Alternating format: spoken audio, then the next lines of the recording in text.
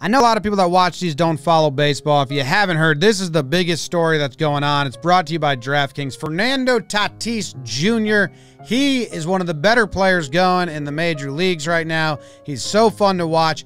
He hits his 10th homer on the season. He ties Mike Trout, who's like the best player ever, to tie him for the most home runs this season. He's going off. He's having fun. He should become one of the big faces in baseball, just young and fun. Padres are up by seven runs. That guy beats the shift Profar. What a rude thing to do, beating the shift like that on an infield single when you're up by seven runs. Can't be doing that. Then we're going to walk this batter. Now it's two on. We're going to walk this batter. Now it's bases loaded, and Fernando Tatis Jr. steps up to the plate looking delicious again. Ball one in the dirt. What are you going to do? You got to pitch to him. Ball two in the dirt. He's not chasing, he's got good discipline. You want them just to chase just because you're down by a lot? Now it's a 3 0. Now here's where it gets fun. The unwritten rules say you shouldn't be swinging on 3 0, especially if you're up six runs after the sixth inning. They're up seven runs after the sixth inning. It's the eighth inning. Why do the unwritten rules say this? Well, because pitchers historically are huge babies and they they masquerade that with toxic masculinity. And if you piss off a pitcher well he can just throw the projectile at you and hurt you. So you have to be careful not to piss off the pitchers. And just because he threw three bad pitches in a row that you didn't swing at that means you now have to let him throw a strike right down the middle. If you're new to baseball and you're like what the hell are you talking about this is uh, you know it makes so much sense because afterwards then the pitcher's going to say okay here's another fastball. You can swing at this one. Oh nope that's not true. After the fact the pitcher's then going to try to get you out. Oh okay so does the other team they're just not going to try to come back and win because they're down by so much so that's why? No no no. They're going to do everything they come to stay to come back and, and win. You're just not allowed to add more runs because you know, you don't want to piss the pitcher off. He's got feelings. Think about him. Anyway, they said that Tatis missed the sign from the third base coach. And after this 3 0 pitch, he doesn't even look over there. He's not even going to give them the option. He never once looked. There was no sign given because he never looked. If he did look, would they have given him the take sign, the don't swing? Maybe, but he didn't give him the option. So he sees this fastball. It's actually not even like middle middle. It's it's kind of outside. He goes out and gets it. He pops it over the wall for his league leading 11th home run. He overtakes Mike Trout, one of the best players ever, with the most home runs in baseball. Woodward, the manager of the uh, the Rangers. Oh, okay, I see you. Okay, that's how it is. He runs around the bases. He does everything he did the first time. Celebrates with his boys just like he did on the first home run. Same exact routine.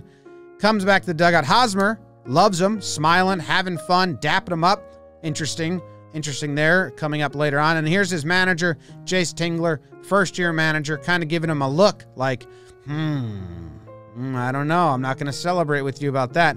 Like, I don't know. Then the Rangers bring in a new pitcher, and the first thing he does is he throws behind Machado's back because they they pissed off his teammates. This pitcher didn't do this on his own accord. He was told to throw behind Machado by the manager. That's how baseball works. It's a dumb society sometimes.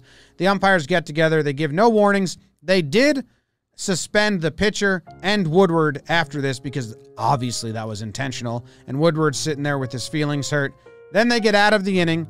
Hosmer makes the last out. He runs down the line. He looks at the opposing dugout and says, Hey, we'll talk to him.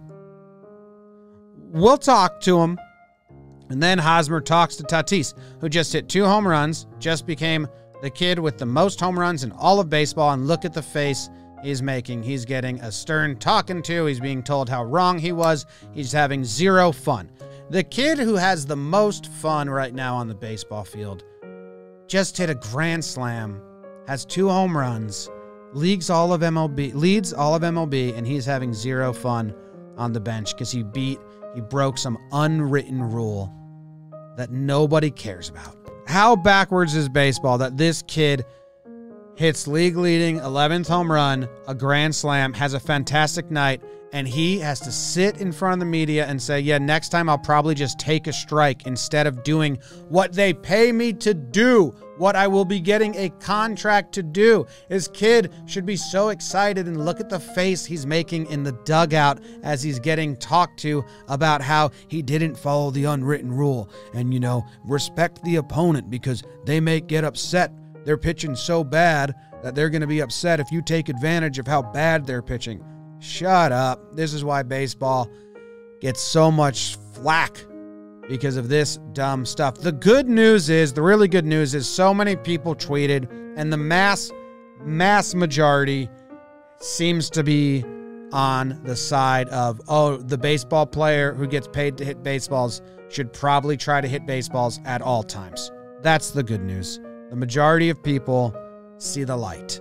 Maybe baseball's moving forward. Also, good news is that this puts Fernando Tatis on more people's radar we want people to know about him, but we don't want them to know him looking like this. We want them to know him smiling, having fun, and crushing balls. This one is brought to you by DraftKings. Go to DraftKings, download the app, use code JOHNBOY, pick up Fernando Tatis, play him every game. If he gets a 3 0 count, I hope he's swinging.